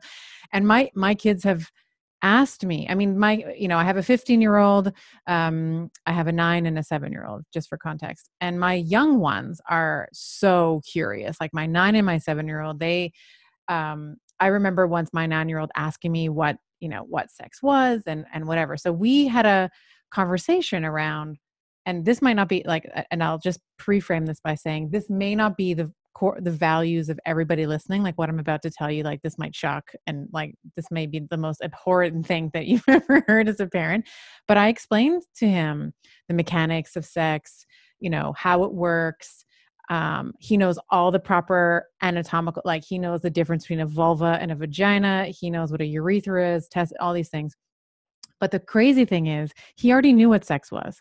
He had heard about it at school and he was testing me. So he was like, What's sex? So I was, he's like, Oh, yeah, yeah, that's what like so and so said. And I was like, Okay. So, and we've also talked about like masturbation and why it's healthy and normal and it feels good and blah, blah, blah. And I, the reason why I have wanted to talk about this is and i have boys and this may be different when we're when we're parenting girls or or not but in my experience my conversations with my partner giovanni you know past partners whatever most guys learn about sex from their buddies which is like highly suspect in terms of the details that are shared or porn mm-hmm. right and porn in my very humble opinion but it is a strong one is it in so misogynistic it it it portrays the woman in a way that is unrealistic. And these like hookups these like one like the you know the the mailman comes to the door and then they're on the couch or on the counter or something. Like it's these these this kind of casualness around sex. And i wanted to be the first person or you know i wasn't because andreas already knew my, my son already knew about you know what sex was. But I, at least i wanted to kind of get in early with my values around sex because I think that I mean my this is my opinion, but for me the act of having sex is actually sacred. It's like this energetic, you know, exchange and you know from conversations I've had with my friends and my own experience like one night stands usually suck. Like they are usually the worst experiences and the better the best sex you've ever had is usually with someone you know you're intimate with there's a connection there's safety you can experiment all these things. So i wanted to kind of get, discuss this with my boys because you know when when my kids were born this um, comment was given to me which i don't agree with but it was kind of done in jest. It was like oh when you have a boy you know you just have to worry about you know the one penis. When you have a girl you have to worry about all the other penises like around right or something to that effect. Yeah, but i yeah. wanted i wanted to imprint on my boys the the importance of sex that it is not just like you can't just go to a hookup party and like you know like the house key you know like the um, house key parties of, of yesteryear where you'd throw your house keys in and you know um, can you can you speak to i mean you can tell me that i'm totally wrong for that um no but, listen, it, you know what what are your so yeah. I, am fascinated because when people talk about having the birds and the bees talk with their mm. kid they already know they've already I, I can't even imagine i can't even think of a time in the 30 years i've been doing this where a kid was like really? Like they've already heard they already know yeah. they already know. Yeah. Um, so they're going to get that information in you know different ways and skewed ways. Um, one of the things that you picked up on that's so important that i feel really strongly about is i think that porn has absolutely shaped um, our children's understanding of sex and themselves. Um, and it's i'm really concerned about it so the the reality of the situation is um, if your child has access to any kind of device but certainly a smartphone they have probably already seen porn by the time that they're 11 mm-hmm. and there are i shocking plethora of things. It is definitely a misogynist industry, and most of the people that are in that industry have been traumatized uh, as children. So it, it's a, it's a we, that's a whole other conversation, but it has definitely shaped things um, and warped things to a huge, huge degree. So the the what happens right now, and I'll come back to lining up with love for a second because this is this is important, but the images that they're seeing exactly as you say are are not real and that's not the way things work but kids are the hookup culture is very prevalent and it is really difficult. And kids will say it's not a big deal but that's not true. It is a big deal to them. So i talk to the kids who have hooked up and then feel disgusting after right? The girl so that the, they hook up with each other at a quite a young age um, and then there's supposed to be no relationship no connection to each other but they all feel gross about it. Even the boys. Mm-hmm. Um, they're pretending that they don't but they're very messed up about this. This is really confusing to them. And with the girls that i talk to they they either do it because they think that, that that's what everybody does and they'll be they won't be popular. Um, but when you but when you do anything from a place of fear that emotional gps is going to go off. And you're going to feel gross. And you're going to feel that you have made a decision so far from that love which in this case is the, the higher self or your best self or whatever you want to call it that when you're involved in a situation like that when you did it because you're afraid and it didn't feel right and it didn't feel great the, the responding the corresponding emotion is going to be anxiety depression guilt shame. Why? Because there's a gap between what i really should have done in that moment. When it's a lovely moment and you really like this each other and it feels pure and it feels great and it feels natural and feels normal they're going to feel great about it mm-hmm. right? So it's really helping your kids understand if you feel gross about it what's that about? Right? Let's let's what's that feeling telling you? That's information right? We, we talk about feelings as these things that we have to get rid of like emotions are you know anxiety's bad depression's bad. No they're in there it's information. Telling us something. 100% why would you just take a pill for that? Like it, i mean obviously if it's if it's taking over your life there's lots of treatments but one element of it needs to be what is this information telling us? What are we supposed to learn from this feeling? Right? Anxiety too gets this bad rap like anxiety is bad. Anxiety is absolutely necessary for survival for good mental health. Like you have you're going to walk across the street and go ah the cars will wait like you need anxiety to help guide you. Um, you just have to you just have to make sure it's not controlling you right? So if we come back to this idea um, kids are not okay with all this even if they tell you they're okay they're not okay trust me they're not. And i've had lots of boys in my office. I can think of two or three young men 16 17 20 who were in tears in my office. I ruined my childhood.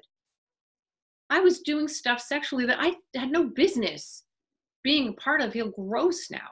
And mm-hmm. the, and lots of boys this is a new uh, phobia that i'm seeing that are they can't sleep at night because they're thinking did i touch a girl that didn't want to be touched is she going to come back and tell me that i'm i, I abused that her? i raped like, her or something oh yeah. my god i can't tell you how many young boys are absolutely uh, in, uncontrollably obsessed with this idea like a like a new form of ocd um, and then and girls are having their own kind of experiences with it um, so that's a really important piece. So it is important to have these conversations with your kid, real conversations. Give them a, a, sense of what what sex really is and what it should be like, and that what you're seeing in those on those images are that's traumatic. That's not healthy, normal.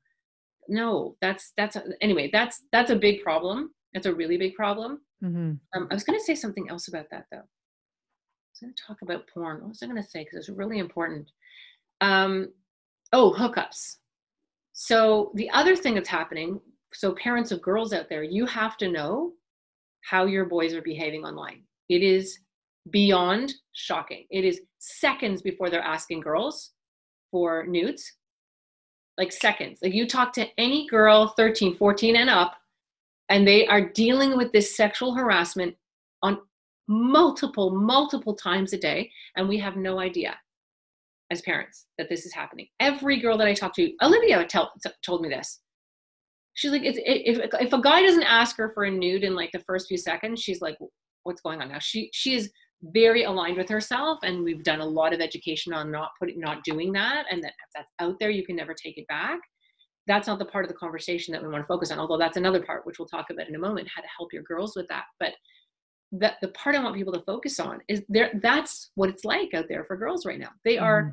bombarded multiple times a day with really aggressive uh, demeaning um, requests all the time and then got and boys sending pictures of themselves right dick pics mm-hmm. are a mm-hmm. thing like yeah. we we have to know what's going on in our teenagers world this is what they're dealing with right you need to be having these conversations with your girls and with your boys why is it okay so why what does that conversation look like so you have a daughter what what's the conversation with her around? And then even just the rules around kind of sexting right? Like that also plays into the sex as well because it's like well is that you know what is that? So how what what's the conversation look like with our bo- with our girls and with with our boys? I'm i'm this the, is the first is part the first part again is that you don't start with fear. What? How do i know you're safe? And i'm just going to have to take the computer out of your room if this is what's happening. If that's your reaction you've just you've messed it up and they're never going to figure out because all you're doing is delaying because talk to anybody in their 20s and 30s talk to people who are in their 40s and 50s dating online. It's the same thing. Yeah yeah. Within seconds there it gets disgusting. It, it's just the strangest world the virtual world. It's like all there's all different rules and these different personas. It's very strange. So the first part is just letting them vent and creating safety in the conversation using the calm technique so go back to the first podcast where you're really just present and listening without fear. And suspending your own agenda. And what and, and just saying and, and making comments like oh my god like what is that like for you? To just like the second you think a guy is nice and then they ask you for that it's like gone. Like really without fear having this moment where you're just really connecting around what that experience is. You'll know in a conversation when it's time to move towards some kind of resolution. What can we do about it? Because your child will turn to you, your teenager will say, Well, did that happen when you were a kid? And the truth is, no, not really. I mean, there were different versions of it, much milder versions of it, but not to the degree that teenagers have to deal with it now. But they'll ask you, like, what should I do? And what do you think? Then you can have the conversation about lining up with yourself you have to know that when you have those feelings, that's your own body telling you this isn't right for me. Eh, help them tune into that intuition. We, that's something we don't talk about in our culture at all. Like, but so many ancient cultures, and, and if we listen to our heart's coherence, right? Our, our own sense of what feels right and what doesn't, if we could just learn to quiet ourselves, we have wisdom. And so do our kids and we can connect and line that wisdom up together in these beautiful conversations but you've got to keep fear out of it.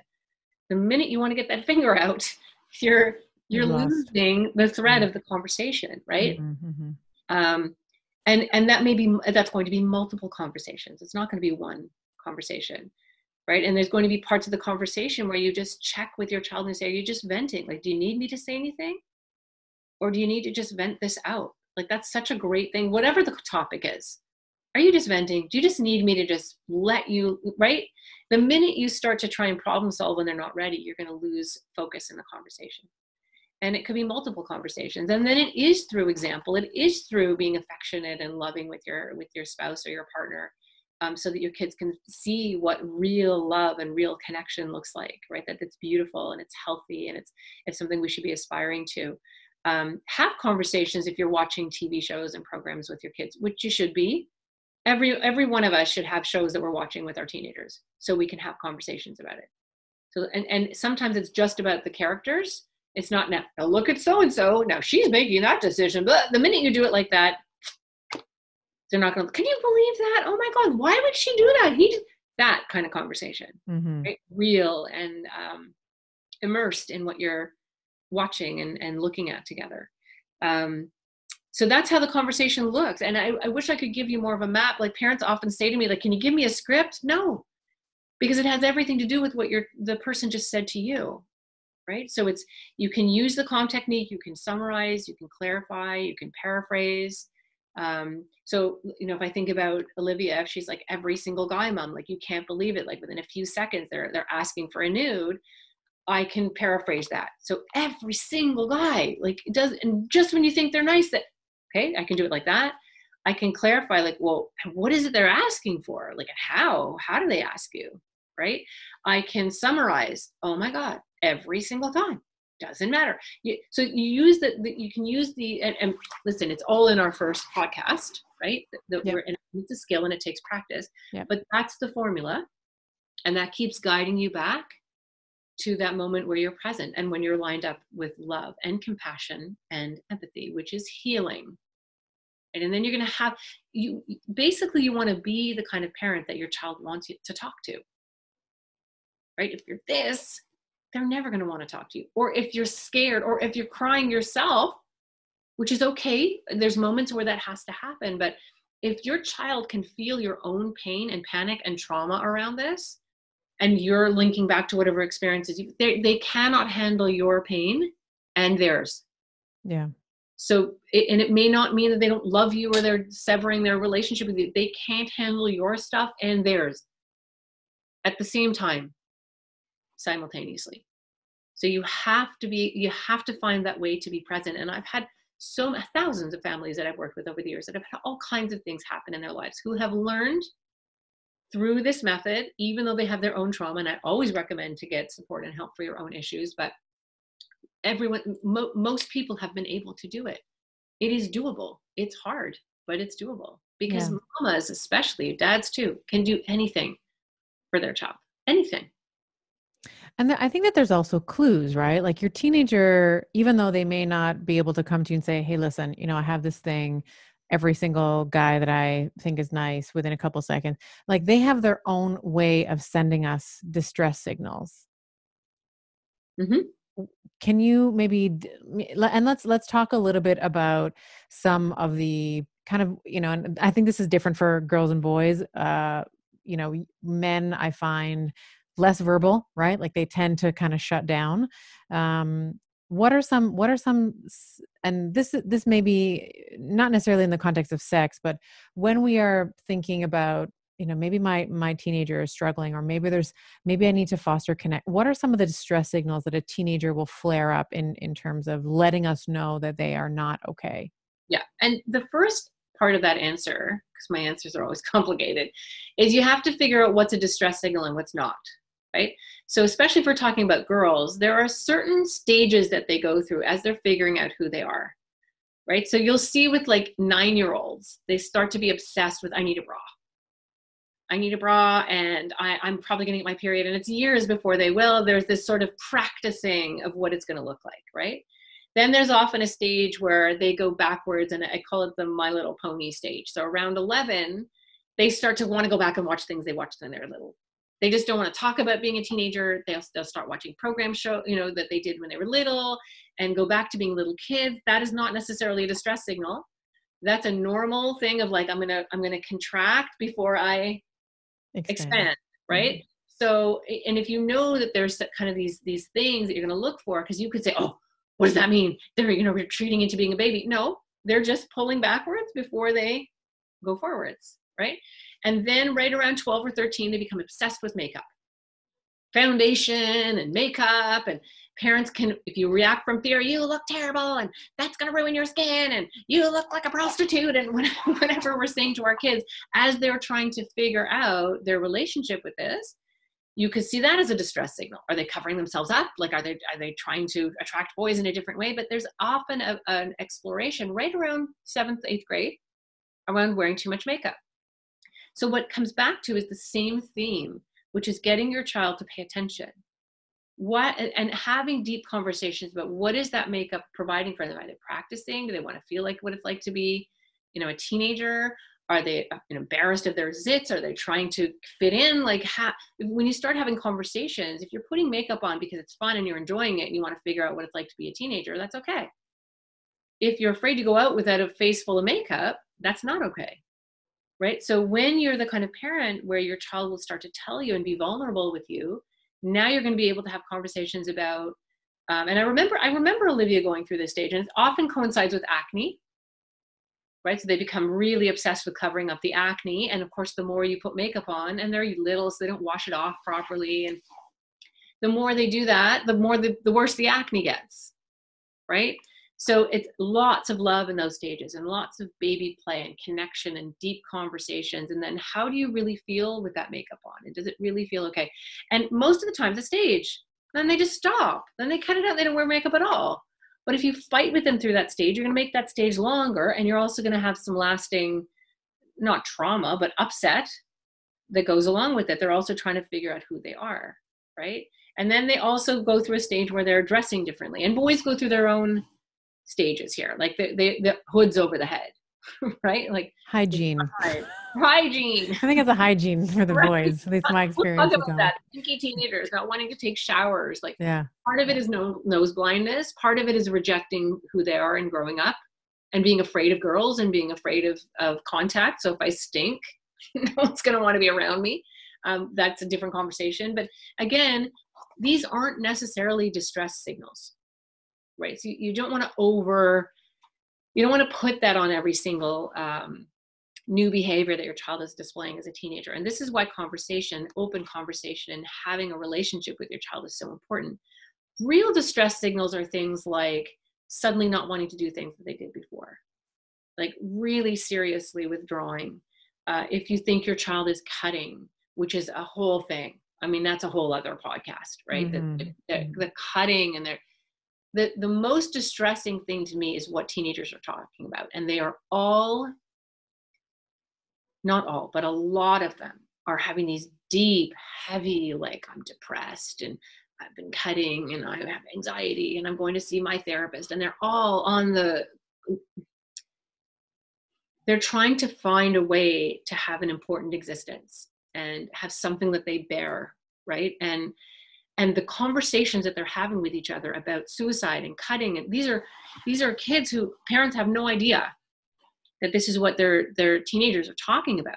And they're carrying these burdens of i have to call my friend tonight because she said she was suicidal last night and and they're i'm the only one she can talk to and these heavy conversations that they're trying to manage because kids are shutting off and not talking to their parents so they're talking to each other and there's some histrionic stuff in there. There's some fear-based stuff in there. There's some attention seeking in there and there's some real stuff in there and it is messy and way too hard for a 16 year old or a 15 year old or a 14 year old to figure out.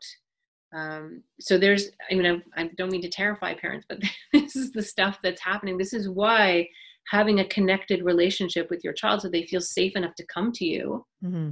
So like Olivia will come to me and say, I just had a conversation with my friend. What do I do? And, and I can have a whole mirroring conversation with her and then say, sweetheart, that's not something you should, that's not your job. Yeah. You're not a therapist. Mm-hmm. You're not even an adult. Let's figure out what we need to do for that person so we make sure that the adults in their life are aware and they know what to do. Right.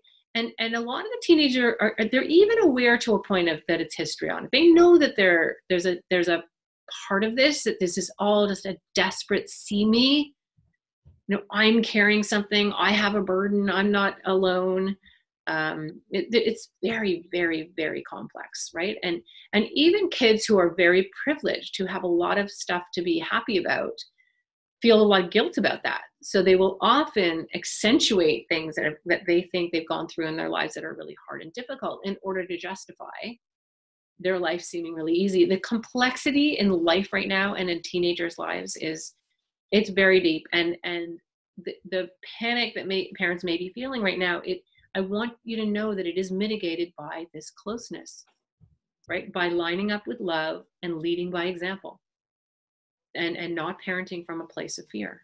That you, you that is an important role that you play in your child's life.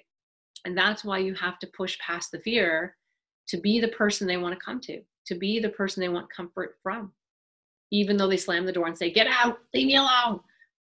Right? You got to keep coming back because that's what they need and that's actually what they want. Is it is it ever okay to negotiate with our kids? Depends. Like what do you mean? About what? So let's think uh let's think about, you know, a, there's a you know a house party or you know the kids like there's like some social event that they want to go to and um there's going to be no adults there and you for whatever reason are not comfortable with that mm-hmm. are there you know sometimes things are not just yes and no there's you know hundreds shades of gray right is mm-hmm. it ever okay for us to say to our kids, no, this is not, I, I'm not comfortable with you going to this house party where there's going to be no adults or there's going to be no adult supervision. But what I am okay with is you going for, you know, a couple of hours and then maybe I'll come and pick you up. Like, is, is, is there, is there ever any room for for that like when we're when we're trying to set boundaries for our children when we're saying listen i'm not comfortable with you you're 14 or you're 15 or whatever age you are it's not okay for you to be alone without adult supervision with a bunch of other teenagers at least for my comfort level right now even though i understand yeah. how important this is socially for you. Mm-hmm. is there ever a place for us to uh is there a place for give and take? And I, and I don't mean this in like you know can you can you just cut on mondays and wednesdays and not the, like that's ridiculous. That's not what i mean but i mean you know that i think like that when we think about anorexia we think about bulimia we think about suicide like these are things that require not only your own connection but i think that the, you require uh, external help as well there. But for things that like day-to-day teenagery stuff. Yeah yeah. The answer is yes you of course you need to set limits. They don't have a fully front formed frontal lobe. You are not mean you're a frontal lobe right? And if you're and again you line up with love first. If it's your own issue i'm scared they're not going to be handled and i'm scared the people are going to think i'm a terrible mother for sending them there and i'm first figure out what you're where you're coming from. Mm-hmm. and if you know that it's based in love they're not ready. There are no adults there. It's too much for my child at this age. I don't think it's a good idea. And you know that in your soul like you have that brain heart coherence around it you will be able to say no and you'll be able to do it in the most loving impactful strong way and you'll be able to do it in a way that believe it or not when you say no to your teenagers usually there's there's a bit of a flare up and then they leave it it's usually much less of a big deal as you think it's going to be when the big deal comes from i don't know and maybe and you're not ready for this and the fights that happen around it. But if, if they think there's a maybe in there, they're going to not leave you alone. But if you say, I love you enough to say no, and I love you enough for you to be mad at me, I believe that you are not ready for this, and I love you way too much to let you go to that party, and you have permission to be as mad at me as you need to be, slam all the, slam all the doors you want to. You're not going. There's a comfort and there's a relief that comes from that sometimes with teenagers that they'll stomp and then it's over and you'll think oh my god they're gonna be mad at me for two weeks and then two hours later they're like where's the look we don't have any cereal and they're fine right mm-hmm. so often it's way less of a big deal than we think it's going to be and that's in my experience of 30 years of helping parents with their teenagers that's most often the case um, so again you have to sort of line up with with with your own sense of of of operating from love and fear there um, if you think, well, I got to let them do it sometime and maybe there's some parameters, you could work together. Then the conversation becomes, how can we work together to make this a yes? Like, what do we need to do to make this a yes? Like, what can I, uh, I will be picking you up and you better answer your phone every half an hour. And let's have a signal where I call you and we have it worked out that if you go, oh, come on, mom, seriously, really? That means I hate this party. I'm scared. It's too much for me. Come get me right? There's all kinds of cool ways. You can have them, the, the child throw, oh, my parents are so mean, I gotta go. You can have a whole plethora of things worked out so that they can leave that party. The most important thing, though, comes down to four words. Is it four? Yeah, I believe in you. I believe in you. Yes, I believe in you. Right? That's really important. I believe in you. I know who you are. I know you're tuned into your best self. I know that you know what the right thing to do is and i believe you may that may waver sometimes but i believe in you right? Send them off if they go in that way to the party and back to the first part of our conversation. Don't do this all the way there. Now remember uh, uh, if it has that energy it's like baby you got this. You know i'm out here. It's fine. We've got our signal. Go be you. Do go do you. Listen to your listen to your be your best self in there. Right? And that's not necessarily going to look the way you want it to, but it's going to look a whole lot better than you're fearing for sure, right? right? And, and it's teaching them that they can be shaping their lives, they can know themselves, they can make decisions that they're and and those feelings you're going to have after right so a big one that comes up a lot is when kids drink right so they get drunk they're vomiting i just had this this week with a client kid was throwing up I somehow got together with other teenagers. I don't even know how that happened in this particular day and age, but it did. Um, absolutely vomiting and ended up going to the hospital. Parents are at the hospital with this kid in the middle of this whole virus thing. Um, and the, it's interesting because the hospitals and the paramedics always give this advice. They're like, take pictures. Take pictures because they won't remember this. so take pictures. Um, and I always say to the family when the child comes home, obviously make sure they're safe, make sure that they're not in any kind of danger, but don't become Florence Nightingale. Make like let them feel it. Let, let them, them feel it. Yeah. Yeah. Let them feel it. And then have a conversation about this feeling both both physically which is information that's your body telling you that's poison and emotionally i feel like an idiot i'm embarrassed i don't want to be that person i'm disgusted with myself those feelings are so important don't drown those out that's your gps that's how you're going to remember you don't want to be this person next time, right? And alcohol is a tricky one because there's a lot of like, oh, it's a rite of passage. Everybody goes through that. Alcohol's not so bad.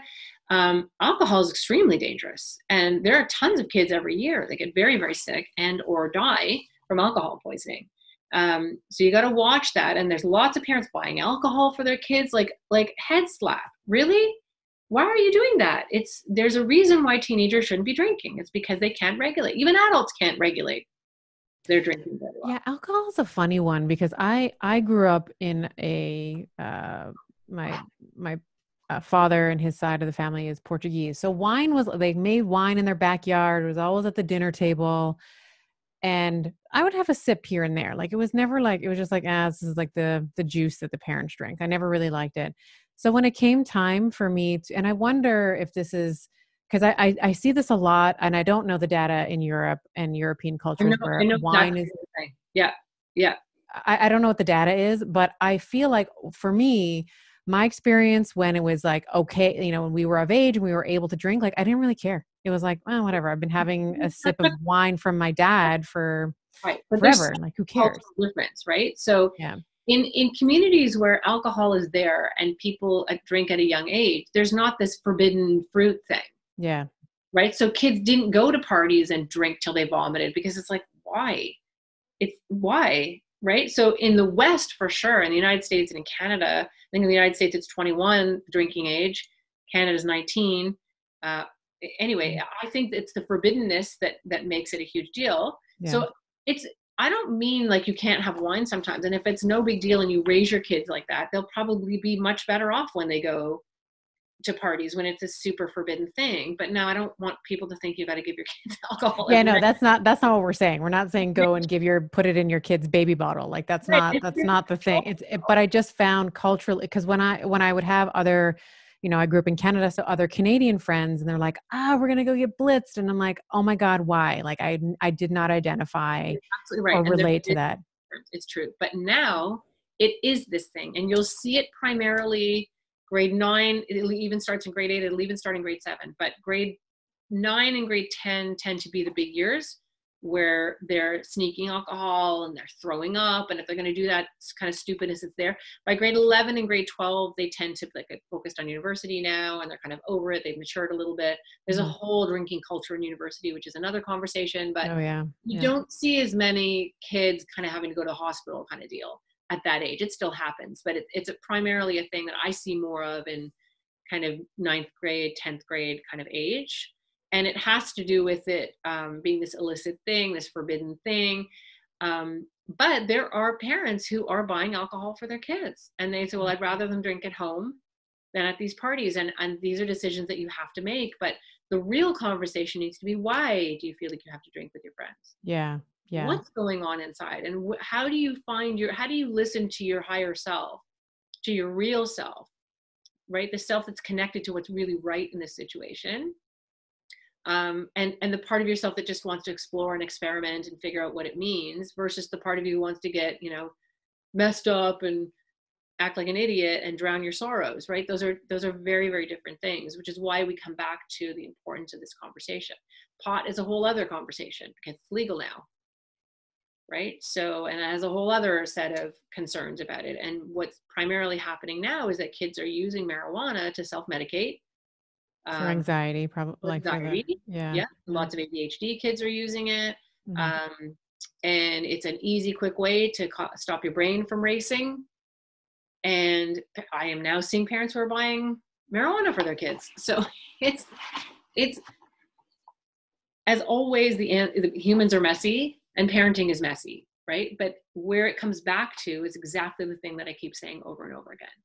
Right? It, it's being that um, being the the person that your kids are oriented to be be that full uh, uh, spectrum parent so that they don't have to fill that hole somewhere else right and that's and they're still going to do some of that stuff but the the hole the the vacuum inside that they're trying to kill some feeling you can do you can plug that up with love with connection.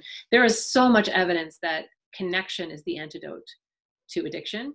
Like it's really the, the whole um, all of the latest research in addiction is really showing that that it comes yeah. down to addiction and i think what you're talking about is really just a, a, like developing a skill set in these teenagers where they can begin to attune with how they feel. And so i mean this is prevalent in adults. I had dr kelly brogan on the podcast. We were talking about depression she's a psychiatrist we were talking about depression. We one. are so afraid to feel our feelings as adults that we don't know how to teach that skill set to our children to our teenagers.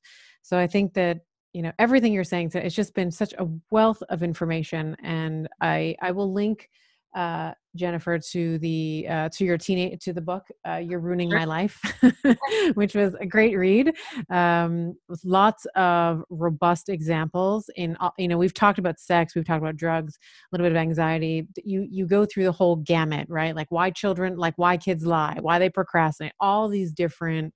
Um, you know permutations of teenage behavior and how to make sense of it um, I'm just I'm looking at the clock. We've reached two hours yet no, again. No, we did not. I was yeah. thinking an hour. Yeah, yeah. Oh my gosh. Okay. Yeah. okay. Any any final thoughts? Any final um, uh, thoughts in terms of just wrapping up our our wonderfully colorful conversation today? No, I think just be be nice. Yeah.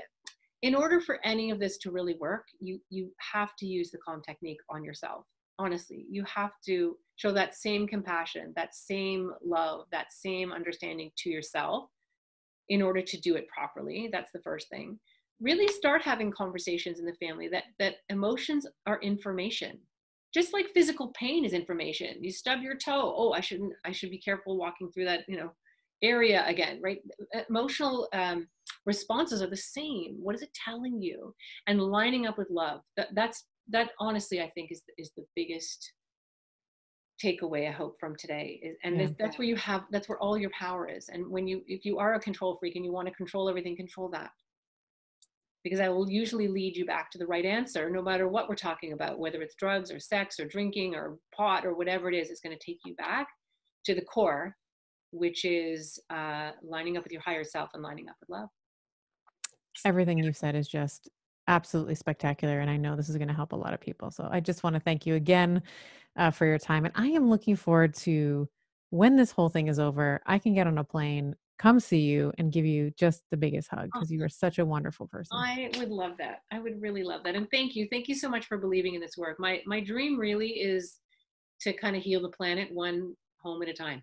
And yeah. I think this is, I really do believe this is a way to do it. So if people want to know, know more, then go to connectedparenting.com yes. podcast on iTunes, which I go deeper into this information. And then I have a, an online parenting course, which is really turning out to be an amazing community of people because there's a Facebook group that goes with that, a closed Facebook group, and online coaching calls with me.